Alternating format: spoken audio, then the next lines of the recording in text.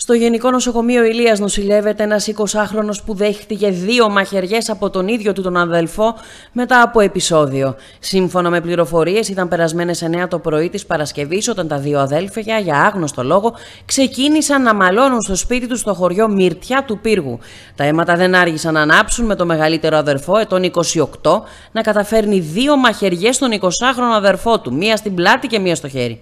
Ο νεαρός μεταφέρθηκε άμεσα στο Ανδρέας Παπανδρέου, όπου και νοσηλεύεται ενώ επί τόπου έσπευσαν ισχυρές αστυνομικές δυνάμεις από το αστυνομικό τμήμα Πύργου και την ομάδα Δίας, ενώ αστυνομικές πηγές αναφέρουν πως έχουν προσαχθεί ο 28χρονο αδερφός του θύματος καθώς και ένα ακόμα συγγενικό τους πρόσωπο που ήταν μπροστά στο επεισόδιο.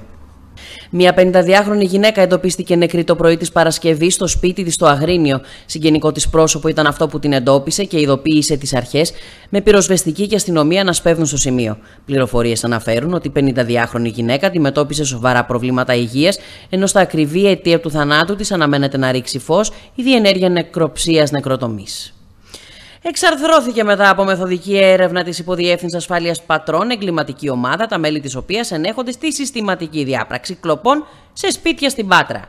Ειδικότερα, τρεις γυναίκες ελληνικής καταγωγής σε περιοχή της Πάτρας και με χρήση κάρτας διέριξαν διαμέρισμα γυναίκας με σκοπό την κλοπή χωρίς να ολοκληρώσουν την πράξη τους, καθώς έγιναν αντιληπτές από την ιδιοκτήτρια του σπιτιού και τοπίστηκαν άμεσα από αστυνομικούς της ομάδας Δίας που περιπολούσαν την περιοχή.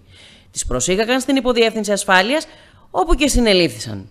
Σε βάρος του σχηματίστηκε δικογραφία κακουργηματικού χαρακτήρα για εγκληματική οργάνωση, συμμορία, διακεκριμένη κλοπή. Παράλληλα, για την ίδια υπόθεση, σχηματίστηκε δικογραφία σε βάρος δύο ακόμα γυναικών, συνεργών των κατηγορουμένων, τα πλήρη στοιχεία των οποίων έχουν ταυτοποιηθεί και βαρύνονται με τις ίδιες κατηγορίες. Στο πλαίσιο των ερευνών τώρα της Υποδιεύθυνσης Ασφάλειας Πάτρας, διαπιστώθηκε ότι οι συλληφθήσεις από τα τέλη του έτους 2022 συγκρότησαν δομημένη και με διαρκή δράση εγκληματική ομάδα με σκοπό τις κλοπές σε σπίτια σε περιοχές της Πάτρας. Οι κατηγορούμενες διέπραξαν συνολικά 17 κλοπές σε σπίτια, κατά τις οποίες αφαίρεσαν συνολικά το χρηματικό ποσό των 8.500 ευρώ και κοσμήματα συνολικής αξίας περίπου 36.000 ευρώ. Οι κατηγορούμενες, δρώντας με διακριτούς ρόλους και με την διαφορετική σύνδεση κάθε φορά, πήγαιναν στους επικείμενους στόχους, όπου με τη χρήση κάρτας, ταυτότητας, ακόμα και τραπουλόχαρτου, άνοιγαν τις πόρτες και έμπαιναν μέσα. Επιπλέον, δύο από τα μέλη επιτηρούσαν τον εξωτερικό χώρο, ενώ μία από τις κατηγορούμενες παρέμεινε στις σκάλες προκειμένου να ενημερώσει εγκαίρως τις υπόλοιπες σχετικά με τυχόν άφηξη των ενίκων. Οι συλληφθήσει θα οδηγηθούν στον εισαγγελέα πρωτοδικών Πάτρας, ενώ έχουν απασχολήσει τις αρχές και στο παρελθόν el phone. Εξηχνιάστηκαν μετά από ενδελεχή και μεθοδική έρευνα των αστυνομικών του Τμήματος Ασφάλειας Ήλιδας σε 7 κλοπές μοτοσυκλετών που είχαν διαπραχθεί σε περιοχές της Αττικής και στο Αγρίνιο. Για την υπόθεση αυτή σχηματίστηκε δικογραφία κατά περίπτωση για τα δικήματα της διάπραξης κλοπών, της αποδοχής και διάθεσης προϊόντων εγκλήματος και της παράβασης του κώδικα οδικής κυκλοφορίας σε βάρος τεσσάρων ανδρών, τα πλήρη στοιχεία των οποίων έχουν ταυτοποιηθεί.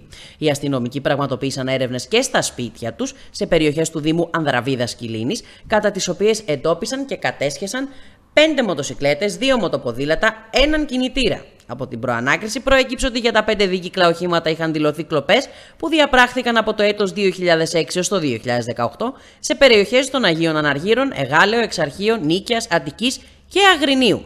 Ω προς τη μεθοδολογία των κατηγορουμένων, επισημαίνεται ότι παραποιούσαν τα στοιχεία των μοτοσυκλετών αποξενώντας τους αριθμούς πλαισίου και του κινητήρα, ενώ κάποιες από αυτές δεν έφεραν κρατικές πινακίδες, άδεια κυκλοφορίας και μπροστά τροχό.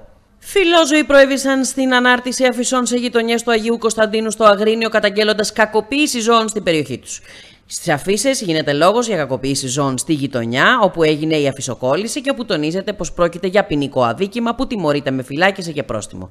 Καλούνται μάλιστα όσοι αντιληφθούν τέτοιες περιπτώσεις ή ύποπτες συμπεριφορές που παραπέμπουν σε κάτι τέτοιο να τις καταγγείλουν στην αστυνομία. Προς το παρόν, πάντως, σύμφωνα με πληροφορίες, δεν έχει υπάρξει αναφορά στην τοπική αστυνομία για τέτοιου είδους κρούσματα στην περιοχή.